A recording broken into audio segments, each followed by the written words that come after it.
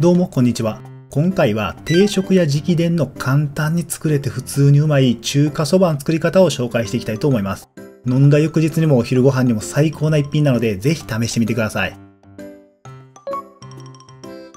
こちらがレシピです。今回のレシピは2人前ですので、1人前の場合はレシピを半分にしてください。使用する麺なんですけど、中華ローの太麺がおすすめなんですけど、麺の種類は細麺でも焼きそばでも大丈夫です。薄口醤油を使用しているんですけど、なければ濃い口醤油で OK です。ただし、濃い口醤油の場合は塩分が少し低くなるので、塩を一つまみ程度足してください。粉末かつおだしは今回本だしを使用しているんですけど、島屋など他のメーカーのかつおだしでも代用可能です。そして豚肉ともやし以外のトッピングに関しては自由に追加してください。では作っていきましょう。まず最初に2分の1袋分のもやしを器に入れて、ラップや蓋をしてから 600W のオレンジで2分30秒加熱します。もやしの水洗いは好みなので面倒であれば水洗いはなしでも大丈夫です。これでトッピングのもやしは完成です。もやしは鍋で茹でてもいいんですけど、レンジの方が簡単に作れるのでおすすめです。次にスープを作るんですけど、とても簡単です。レシピ通りに水、砂糖、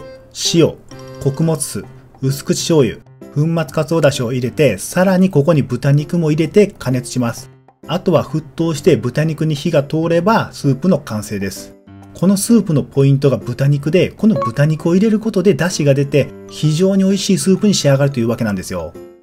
スープを作っている間にもやしの加熱が終われば、やけどに気をつけながら取り出して、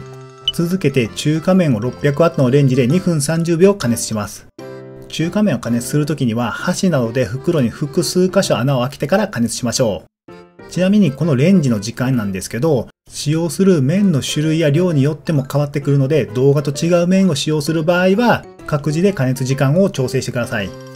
レンジが終われば、これで麺も完成です。あとは仕上げに入るだけです。冬場はケトルのお湯でまず器を事前に温めることが重要です。これだけで3割は美味しく仕上げれます。それだけこういった汁物系レシピっていうのは温度が重要なんですよ。そしてこの時に中華麺も湯に通したいという方がいましたら、動画のようにケトルの残った湯に一度くぐらせても OK です。レンジの加熱だけでもね、全然こういった麺って食べれるんですけど、レンジだけだと驚く人も多いので、まあ、そういう人にはね、お湯を一度通してあげるといいかもしれません。